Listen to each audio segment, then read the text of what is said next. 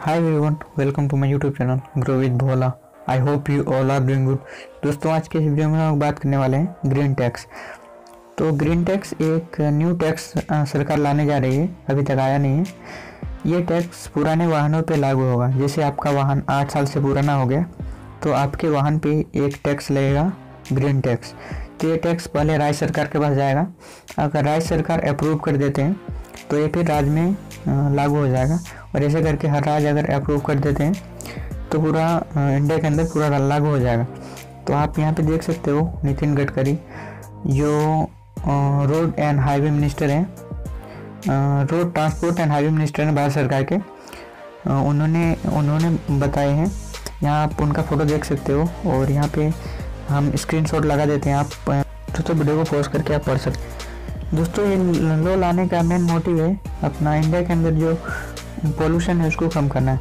जैसे आपको पता होगा six of the world most polluted city in India इसका मतलब दुनिया में, दुनिया के अंदर दस सबसे ज़्यादा पॉपुलेटेड सिटी में छः आपको इंडिया के अंदर मिलेंगे। तो ये बहुत बड़ा बेजती की बात है इंटरनेशनल फोरम पे। बेजती की बात है क्योंकि इंडिया के अंदर बहुत ज़्यादा पोल्यूशन है। और हमने पेरिस क्लाइमेट एग्रीमेंट भी साइन किया है।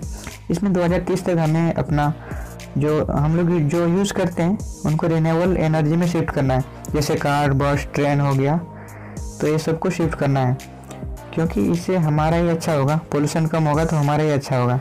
दोस्तों इंडिया का एक मेजर प्रॉब्लम है, क्योंकि हमें फ्यूल चाहिए बहुत ज़्यादा फ्यूल चाहिए और हमारे पास फ्यूल है नहीं।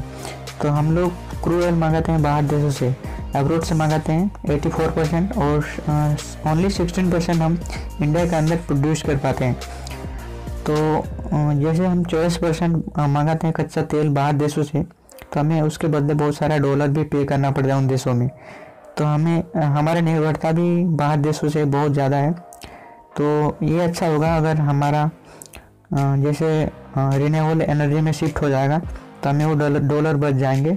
और हम कुछ अच्छे कामों में लगा सकें इन्वेस्टमेंट में लगा सकें। तो ये एक अच्छी बात है। दोस्तों, आपको पता होगा कि भारत सरकार इलेक्ट्रिक व्हीकल को बहुत ज़्यादा प्रमोट कर रही है।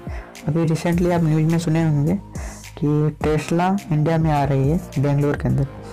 तो ये गुड न्यूज़ है और टेस्ला एक बहुत बड़ी कंपनी है जो इलेक्ट्रिक कार्स वगैरह बनाती है। ये यूएस का कंपनी है। तो इसके कारण गवर्नमेंट बहुत ज़्यादा प्रमोट कर रही है।